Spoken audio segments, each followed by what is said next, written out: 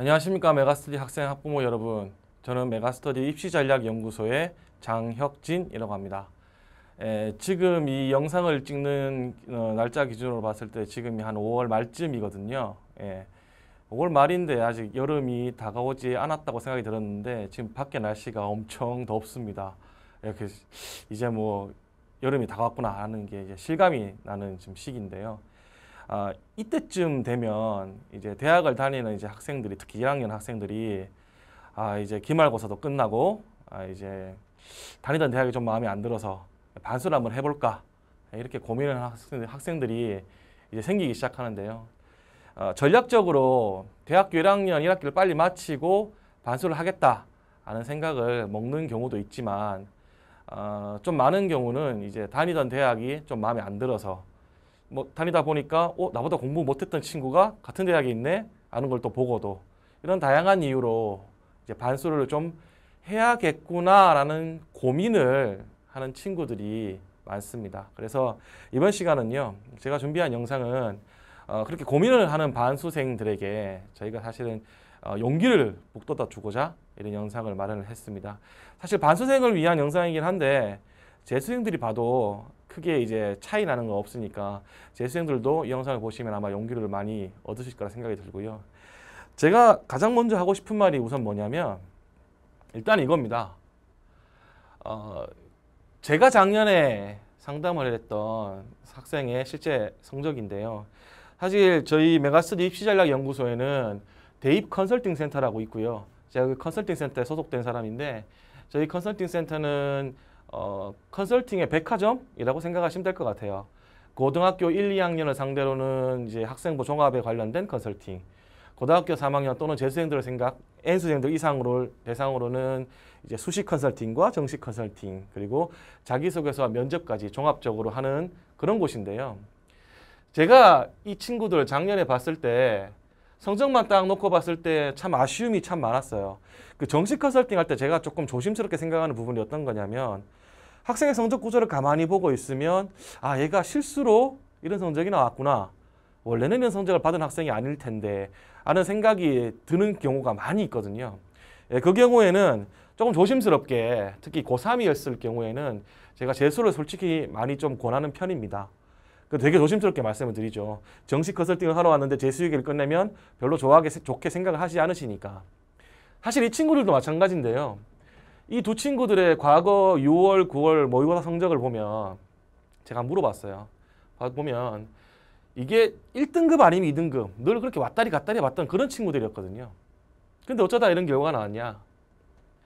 작년 수능의 가장 큰 특징이라고 하신다면 여러분들 다 알고 계시겠지만 국어가 정말 어려웠어요. 좀 심하게 많이 어려웠죠. 예, 그렇다 보니까 이 친구들이 국어에서 평소 풀리던 문항 번호의 문제들이 풀리지 않고 갑자기 틀릴 것 같고 자신감이 떨어지고 아 큰일 났구나 하는 생각에 멘붕을 겪게 되고 그게 수학에도 영향을 주다가 위에 이 친구 같은 경우에는 이제 어느 정도 멘탈이 회복이 되긴 됐지만 아래 친구는 그냥 그대로 무너져 버린 그런 상황이 발생하게 된 거죠. 사실 그것 때문에 이런 상황이 발생하긴 했지만 본인이 이제 멘탈만 제대로 잡았으면 사실 이 결과를 학생들이 성적표를 받아봤을 때 두 학생 다 많이 놀랐다 그러더라고요.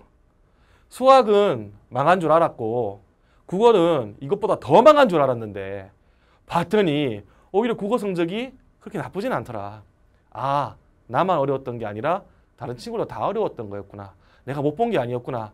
라는 후회를 나중에 다 하더라고요. 그래서 제가 보통 정식 컨설팅 할 때 재수 이야기를 꺼내는 걸 굉장히 조심스럽게 하는 편인데 이 친구들은 시험을 망친 구조를 딱 보아하니 이 얘기를 꼭 해줘야겠다. 라는 얘기를 되게 조심스럽게 꺼냈어요. 그랬더니 그 두 친구의 반응은 한결같이 똑같았습니다. 당연히 저는 한 번 더 할 생각이 있다. 반수를 하든 재수를 하든 한 번 더 할 생각이 있다. 라는 마음을 먹었더라고요. 그게 시험을 망쳤기 때문에. 사실은 이 이유가 과거에도 늘 있어 왔었어요. 그런데 이 두 친구는 여기 플러스 한 가지 생각을 더 먹은 학생들이었습니다. 그래서 그 설득이 조금 더 잘 먹혔죠. 그게 뭐냐면 바로 이 친구들이 2019학년도 입시를 치르고 이 친구들이 재수 또는 반수를 하게 될 2020학년도는 자기 때랑 뭐가 좀 달랐기 때문에 그 다른 점이 있기 때문에 시험을 망친 이유뿐만이 아니라 이것 때문이라도 한 번 더 하겠다. 라는 얘기를 꺼냈던 친구들이에요. 그리고 이런 친구들이 유독 작년 정시 때는 좀 많은 편이었습니다. 도대체 무엇이 바뀌었길래 이런 모양일까? 이런 얘기를 학생들이 하게 될까? 이걸 가만히 생각해 보면 제가 일단은 그림 하나를 인터넷에서 하나 떠왔는데요. 어느 나라인지는 잘 모르겠는데 이게 보시면 여기는 2차선이고 여기가 하나 둘 셋 넷 한 다섯 개 차선 여섯 개 차선 정도 되는 도로죠. 그런데 좁은 도로건 넓은 도로건 간에 지금 차들로 꽉 막혀 있는 게 보이시죠? 이게 대학 입시랑 똑같은 거예요. 여러분 잘 생각해 보자고요.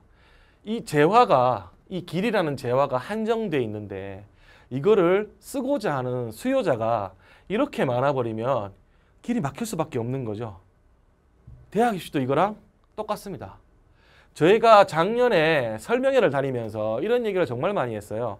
특히 이제 고등학교 1학년 작년에 작년 기준 1학년, 2학년 학생들 대상으로 설명회를 할 때 제가 무슨 얘기를 했냐면 어머님, 아버님 집에 가서 어, 학생들 보고 제 학생들 집에 가서 어머니, 아버님한테 아, 지금 어, 고등학교 1학년 또는 2학년 되게 해주신 걸 감사하다고 인사를 꼭 해라. 예, 그 이유가 뭐냐?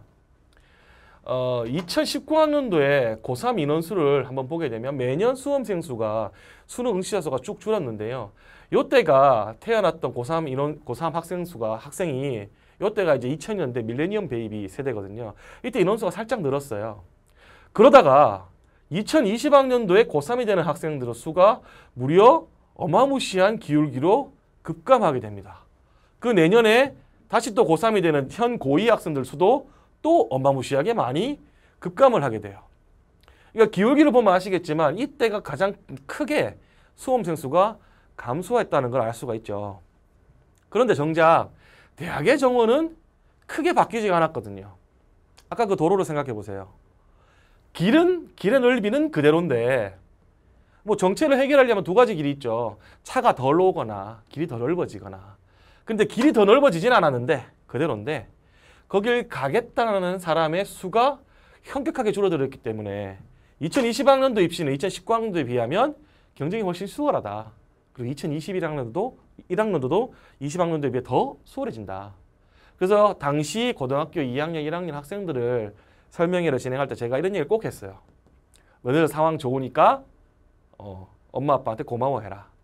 그러면서 제가 이제 하나 첨언을 한 게 이렇게 돼버리면은 이제 이 당시 2019학년도에 고3이었던 학생들이 이 상황을 알게 되면 알게 될수록 한 번 더 하는 경우가 많이 생길 수 있으니 그 사람들을 조심하라 라는 경고의 문구도 제가 남겼습니다. 이렇게 수험생이 많이 줄었다는 게 작년에 제가 설명할 때 이렇게 예측을 해봤었는데요. 어, 실제 올해 이제 2020학년도 올해 기준으로 고등학교 3학년 학생들이 응시하는 모의고사를 한번 보게 되면요. 이 왼쪽에 있는 게 어, 3월 달에 보는 3월 학병, 오른쪽에 있는 게 4월 학병 그래프인데요. 여기 파란색 부분이 2019학년도의 고3 응시생 수, 그리고 이 빨간색 부분이 올해 고3 응시생 수가 되겠습니다. 그래프를 보면 아시겠지만 3월 학병 때는요. 어, 작년도 대비 올해 고3 인원이 무려 5만 7천 명 정도 줄어 있고요. 한 12% 정도 감소가 돼 있고 4월 학평의 경우에도 5만 8천 명 정도 약 한 13.3%가 감소가 돼 있는 것을 아실 수가 있습니다. 실제로 이게 일어나고 있는 사실인 거예요. 지금. 이렇게 돼버리면 고3 학생 수가 줄었다는 이유 이 하나만으로 재수생이나 반수생이 얼마나 많이 늘었을지는 모르겠지만 아무리 많이 들어도 이 인원수를 초과할 수는 없는 거거든요. 그렇게 따지면 이게 가장 크게 영향을 주는 게 경쟁률 하락이다. 경쟁이 전년도에 비해 올해는 더 수월해진다라는 얘기가 되는 거죠. 이게 끝이냐? 사실 이런 현상 때문에 무슨 일이 발생하느냐? 이걸 조금 더 디테일하게 바라보면요. 어, 아, 일단 그 전에 저 궁금해 하실까봐 지금 문과 학생과 이과 학생이 제가 좀 구분을 좀 해봤어요. 아까 그 똑같은 자료인데 이거를 문과로 이과로 좀 구분을 해봤는데 사실 이제 문과 이과를 구분하는 기준은 다양히 있겠 다양한 게 있겠지만 수리 가형이나 나형 그다음에 사탐 또는 과탐이 있겠지만 조금 더 정확한 기준은 어, 이과도 수리 나형을 하는 경우도 있으니까 사탐과 과탐 응시자 기준을 보는 게 조금 더 정확하다고 볼 수는 있는데요. 어, 3월 학평과 4월 학평 기준으로 봤을 때 과탐응시자 수를 보게 되면은 3월 학평 때는 전년도 대비 약 3만 5천 명 정도 17%가 감소가, 됐- 감소가 됐고요. 어, 4월 학평 기준에서는 3만 7천 명 약 18% 정도 감소가 된 거를 아실 수가 있습니다. 그 다음에 어, 사탐응시자 기준을 보면요. 3월 학평 때는 전년 대비 2만 1,000명 정도 약 8.8%가 감소가 됐고요. 4월 학평 같은 경우에도 2만 2천 명, 약 9.7%가 감소가 됐죠. 이렇게 보고 있으면은 아 이과 감소폭이 문과보다 두 배 가량 큰 것으로 나타났기 때문에 아 이과 학생들이 지금 굉장히 좋아하실 거라고 저는 생각이 듭니다. 아 이과가 더 문과보다 더 많이 줄었기 때문에 이과가 더 수월해진 거다 이렇게 생각할 수도 있는데요. 아 그 얘기도 어, 뭐, 물론 틀린 얘기는 아니고요. 문과 같은 경우에도 너무 그렇게 악- 나- 낙담하고 있을 게 있을 필요가 없는 게 어, 보시면은 문과는 보통 이제 예체능 학생들도 보통 문과는 많이 응시를 하기 때문에 그래 그 학생들을 고려해 본다면은 순수 문과 학생들도 그 감소도 결코 만만치는 않아요. 결과적으로 문과든 이과든 간에 경쟁이 전년도에 비하면 수월해진 건 맞다라는 거죠. 그런데 이제 이런 현상이 이제 구체적으로 디테일하게 좀 바라보면 어떤 걸로 어떤 현상으로 다시 이어지냐. 가장 첫 번째로 제가 말씀드릴 수 있는 거는 이제 학생부 전형에서 합격하는 학생들의 내신 성적이 내려갈 가능성이 있다라는 점입니다. 이게 내신 성적의 어, 내신 성적 등급이라는 거를 이제 가르, 가르는 그 구조 때문에 생기는 건데요. 그 내신 성적이라는 거는 인원수 대비 몇 퍼센트냐라는 걸로 따지는 거예요. 그러면 인원수가 줄어들면 당연히 등급 간 인원도 줄어들게 되죠. 하나 예를 한번 들어볼게요. 2019학년도에 어떤 모 고등학교의 2019학년도 작년 고3 인원수를 봤더니 문과가 200명, 이과가 200명, 그래서 합계 400명인 학교가 있다라고 가정을 했을 때 어, 실제 1등급 받는 인원을 한 개 과목 기준으로 봤을 때 몇 명 정도 되느냐라고 계산을 해보면 당연히 8명, 8명, 그래서 16명이 되겠죠. 그런데 이게 아까 보여드렸던 3월 학평, 4월 학평 기준으로 제가 문과, 이과 학생들의 감소 비율을 적용을 한번 해보면 어, 같은 200년 캐파의 고등학교가 180명, 165명으로 줄어들게 되고 똑같은 한 과목에서 1등급을 받는 학생이 몇 명이냐라고 계산해 보면 문과는 한 7명 정도 또는 그 이하일 수도 있고요. 이과는 6명에서 7명 정도. 그러니까 어, 전년도 대비 올해 같은 등급을 받는 학생 수가 줄어들게 된다는 거죠. 근데 이건 한 개의 과목을 예시를 든 거예요. 사실 전교 1등을 한다고 해서 전 과목이 다 1등급인 경우가 그렇게 흔치는 않거든요. 자기도 다 약점이 있고 과목별로 등급을 따로 내는 거기 때문에 요거는 잘했는데 요건 잠깐 실수해서 2등급 이런 경우가 비일비재합니다. 그래서 이거는 한 개 과목 기준으로 이렇게 나온 거지만 이걸 전 과목 토탈 때려서 계산 한번 때려보면 전년도 대비 올해 학생들의 내신 성적이 전년도 대비 좋은 학생이 많이 줄어들 가능성이 올해는 좀 높아지는 거죠. 등급별 인원 감소는 학생 수 감소에 필연적으로 따라올 수밖에 없는 구조입니다. 결국 이거는 내신 성적을 정량 평가하는 학생부 교과 전형과 정성 평가하지만 내신이 꽤 중요하게 작용하는 학생부 종합 전형에서 재수생이란 변수를 아예 제외, 제외하고 놓고 봤을 때 전년 고3 합격생 내신 성적과 올해 고3 합격생 내신 성적을 비교해 보면 올해가 좀 낮아질 수밖에 없는 그런 구조적인 환경이 발생을 하는 거죠. 이게 다냐? 사실은 이것뿐만이 아니고요. 수능도 마찬가지입니다. 특히 이제 수시에 굉장히 중요하게 작용하는 수능 최저학력 기준에서도 이런 비슷한 현상이 발생을 하게 돼요. 수능 최저학력 기준은 100분이나 표준 점수를 쓰는 것이 아니라 등급을 쓰는 거잖아요. 그 등급도 전체 인원수 대비 퍼센트로 따지는 것이기 때문에 수험생 수, 고3 수가 줄어들게 되면 당연히 수능 응시자 수도 줄어들게 되고 당연히도 등급별 인원수도 줄어들 수밖에 없습니다. 실제로 작년 3월, 올해 3월, 작년 4월, 올해 4월 이제 실제 등급별 인원수 결과를 한번 보게 되면 국어 과목에서 작년에 1등급 받았던 인원수에 대비 올해 3월 달에 1등급 받았던 인원수가 4,500명 정도 줄어들어 있고요. 그 이하 등급도 다 마찬가지 구조가 된다는 거 아실 수가 있어요.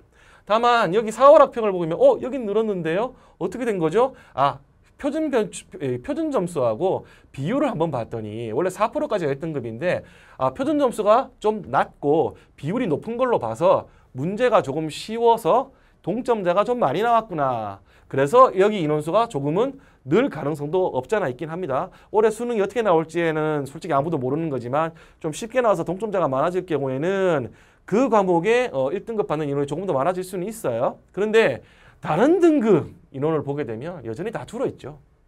이게 수학 가형도 마찬가지예요. 다 줄어 있습니다. 전년 대비 1등급, 2등급, 3등급 각, 각 등급을 받는 인원수가 줄어드는 게 이건 뭐 사실은 너무너무나 자명한 현상이죠. 수학 나형도 마찬가지인데 아 여기는 인원이 늘었던 이유가 동점자가 좀 많기 때문이구나 라고 생각을 하시면 될 것 같아요. 그러니까 전반적으로 인원이 다 줄었다는 거죠. 이게 어떤 의미냐. 이게 수능 등급별 인원 감소로 최저 기준이란 수시에 반영되는 최저 기준이라는 것을 만족한 학생 수가 전년 대비 올해는 줄어들 가능성이 높다는 거죠. 대학은 이 이걸 좀 감안을 해서 수능 최저 기준을 좀 조정하고 이렇게 해야 되는데 다행히도 다행인지 불행인지는 모르겠지만 제가 봤을 땐 다행인데요. 다행히도 올해 수시 모집 영향을 잘 분석하고 보고 있으면 조금의 변화는 있을지언정 전년 대비 어, 전체적으로 봤을 때 전년 대비 올해 대학들이 수시에 걸고 있는 수능 최저 기준이 크게 바뀌지가 않았어요. 이런 상황임에도 불구하고 결국 이게 어떤 의미냐.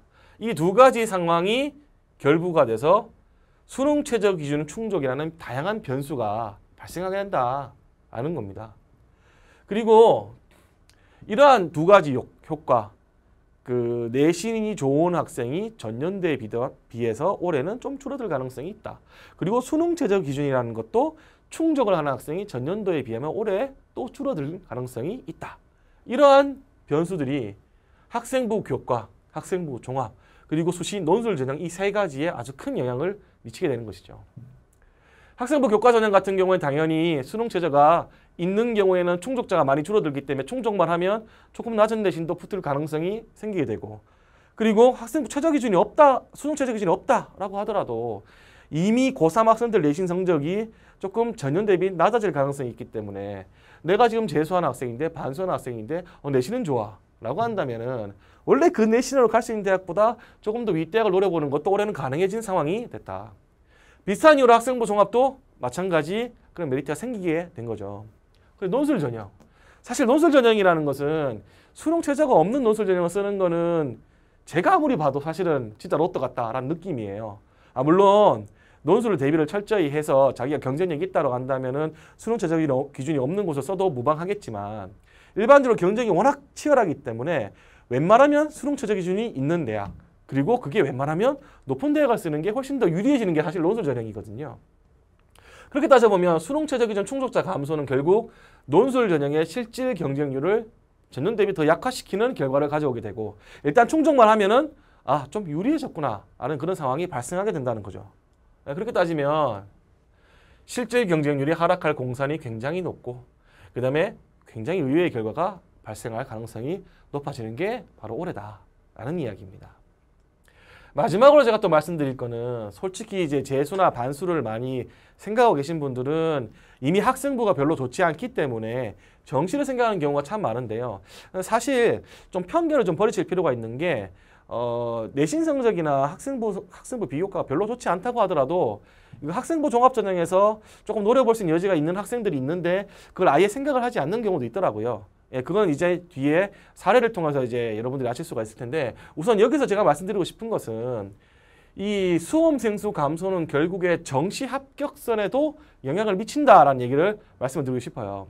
이게 수능 등급이랑은 조금 다른 얘기인데요. 뭐 예를 들자면 수능에서 이 점수를 받았어. 한 개 과목 이 점수를 받았다고 칩시다.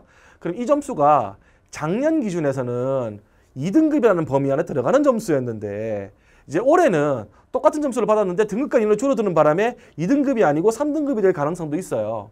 예, 수능 최저 기준은 그런 생각으로 접근을 하시면 되는데 이 정시는 성적으로 내림차순 정리를 쭉 한 다음에 이제 위에서부터 하나씩 하나씩 가는 전형인 거잖아요.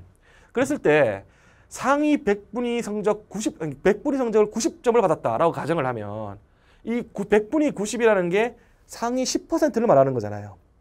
근데 수험생이 100명이다. 그럼 상위 10%라는 게 10등이라는 얘기입니다.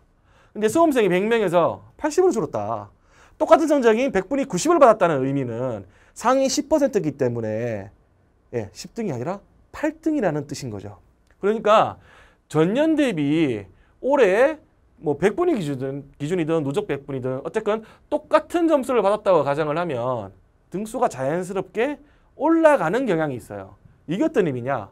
아, 대학들 입결이 내려갈 개연성이 있다라는 뜻인 거예요.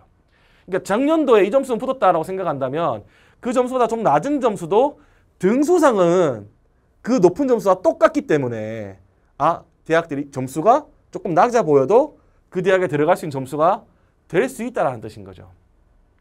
어, 작년에 이제 2019학년도에 인문계 기준으로 한 280점을 받았던 친구는 작년에 6,687등이었다면 올해를 한번 추정을 해보면 수험생수 감소를 고려해서 추정을 해보면 한 6,300등. 이과에서 270점을 받았던 친구는 작년도에 한 15,000등이었다면 올해는 13,000등으로 등수가 확 올라가는 효과가 발생한다는 것이죠. 이게 여기서 끝나면 제가 뭐 사실은 크게 할 말은 없는데 여기에 더하기 올해 2020학년도에 특히 이제 재수나 반수를 노린 학생들은 사실은 상위권 대학을 노리는 경우가 많은데 이 상위권 대학이 정시 선발 인원을 꽤 많이 늘려놓은 상황입니다. 여기 보시면 아시겠 성균관대가 418명, 서강대가 153명 등등 인원을 많이 늘렸고요. 스카이 기준으로 봤을 때 전년 대비 150, 192명, 경희대까지 선호를 봤을 때 848명 등으로 상위권 대학이 정시 선발 인원을 꽤 많이 늘려놨어요. 지금 수험생 수 감소로 같은 점수가 나오면 등수가 올라가는 상황인데 대학들이 정시 선발 인원도 늘려놨다. 결국 이 두 가지 효과가 결합이 되면 정시 합격선이 내려갈 가능성이 작년에 비하면 올해 있다는 거죠. 그래서 여러분들한테 지금 반수를 고민하고 재수를 하는데 굉장히 힘들어하는 여러분들한테 제가 감히 말씀드리겠는데 올해 2020학년도는 기회입니다. 여러분들 이걸 믿고 열심히 공부하시고 반수에 고민을 반수에게 고민하지 마시고 과감하게 도전을 좀 해보셨으면 좋겠어요. 고3 학생 수 감소라는 것이 입시에서 전체적인 경쟁력 하락으로 이어진다. 그리고 교과 및 학종 전형의 합격선이 전년 대비 올해는 조금 낮아질 가능성이 있다. 그리고 수능 최저 기준 충국자 감소로 수능의 중요성이 매우 크게 상승했고 정시에 작년 같은 점수를 받더라도 더 좋은 대가 가는 이런 구조가 올해 생겼다는 거죠. 사실 어, 수능 성적이 많이 중요해졌다는 이 표현 때문에 고3 학생들이 아 자기는 어, 나는 재수생이나 반수생에 비하면은 아, 수능이 많이 불리하다 생각이 많이 드실 텐데 사실 고3 학생들 입장에서는 충분히 그런 생각이 들만도 한데요. 여러분들은 오히려 반대 입장에 놓여 있는 사람들이지 않습니까? 한번 실패를 실패라고 표현하면 좀 그렇지만 조금 안 좋은 일을 경험하게 됐고 국어라는 과목 때문에 멘붕을 좀 겪게 됐고 이것 때문에 이것저것 때문에 원래 받지 못 원래 받지 못했던 그동안 어, 자기가 받았던 성적보다 훨씬 더 낮은 성적을 받고 많이 안타까워하신 분들 아직 늦지 않아도 저는 생각이 들거든요. 그리고 여러분들이 수능을 한 번 더 해서 잘하는 게 아니라 그냥 실수로 잘 안 나왔다고 저는 생각을 하니까 이제 그 실수가 결국에는 재산이 되기 때문에 여러분들이 그 실수를 만회하고 올해 한 번 더 도전하시면 더 좋은 결과를 이뤄낼 가능성은 더 높지 않을까 하는 생각을 하고 있습니다. 그래서 여러분들한테 마지막으로 당부하고 싶은 말은요. 지금의 패배는 성공을 위한 최종 단계다. 이렇게 좀 긍정적으로 생각하셨으면 좋겠어요. 이게 무슨 뜻이냐? 사실 이 영상 처음에 제목을 보시면 아시겠지만 이 영상 처음에 제목이 어, 반수, 어, 반수 endgame이잖아요. 반수 endgame. 아마 이 제목을 보시면서 영화를 보신 분들은 아 저게 무슨 뜻인지 어 저거 영화 제목인데 아 그 유명한 얼마 전에 개봉했던 그런 이제 그 히어로물 영화 제목이지 않습니까? 그래서 아시는 분도 계실 거고 저게 도대체 무슨 소리냐? 라고 생각하시는 분도 아마 계실 거예요. 사실 그 endgame이라는 용어는 그 체스 경기에서 이제 게임의 종반부 최종 단계 왔다 마지막 단계 왔다 뭐 이런 뜻인데 그 영화에서는 이렇게 쓰이고 있죠. 지금의 패배가 사실은 승리를 쟁취하기 위한 최종 단계다. 이렇게 쓰이고 있어요. 여러분들한테도 마찬가지 말씀을 드리고 싶은 겁니다. 지금 내가 다니고 있는 대학이 마음에 안 들고 내가 당시에 수능을 뭐 구구 멘붕이든 여러 가지 이유로든 간에 망쳐서 지금 결과가 별로 좋지 않아서 마음에 들지 않는 곳에 있는데 그게 사실은 2020학년도에 이런 좋은 입시 상황을 맞이하기 위해 그리고 결국은 성공을 쟁취하기 위한 최종 단계였다. 라는 생각을 가지셨으면 좋겠어요. 그리고 국어 멘붕. 사실은 어, 지금 고등학교 3학년 학생들한테 제가 늘 강조하는 게 있는데요. 작년에 선배들 사례, 특히 이 국어 멘붕 이 사례 이걸 타산 지적 삼아서 여러분들 꼭 기억하셔가지고 시험 때 문제가 아무리 어떤 간에 걱정하지 말고 아 나만 못 풀겠어 남들도 못 풀겠지 이런 마음으로 좀 긍정적으로 임해라 라는 얘기를 정말 많이 하는데요. 그런데 실제 이제 고3 애들한테 이런 얘기를 막 던지면 한 열에 아홉 정도는 이렇게 듣고 이렇게 흘려요. 왜냐? 자기 경험이 아니니까. 근데 여러분들이 이걸 경험을 하셨잖아요. 이제 멘붕 안 겪을 자신 있으시잖아요. 그러니까 여러분들 과감하게 망설이지 마시고 과감하게 도전하셨으면 좋겠어요. 이 영상 이후에 저희 메가스터디 어, 각 지경 학원에 아주 우수하신 입시 전문가 분들이 반수 아, 또는 일부 재수 뭐 학생들을 어, 어떤 식으로 어, 지도해서 그 학생들이 입시 전략 어떻게 세워서 공부를 어떻게 해서 어떤 식으로 성공을 했다라는 이야기를 말씀을 드릴 거예요. 여러분들 그 사례를 보시면서 아 저게 내 이야기 나도 저랬는데 하는 공감도 형성하시고 아 저런데도 이렇게 성공한 사례가 사례가 있구나 하는 것에 용기도 많이 얻으시고 제가 방금 지금까지 쭉 말씀드렸던 이 내용을 바탕으로 아 올해 입시 상황이 정말 좋구나 이런 확신을 좀 가지시고요. 망설이지 말고 꼭 도전하셨으면 좋겠습니다. 그리고 꼭 성공을 쟁취하셨으면 좋겠습니다. 이만 마치도록 하겠습니다. 감사합니다.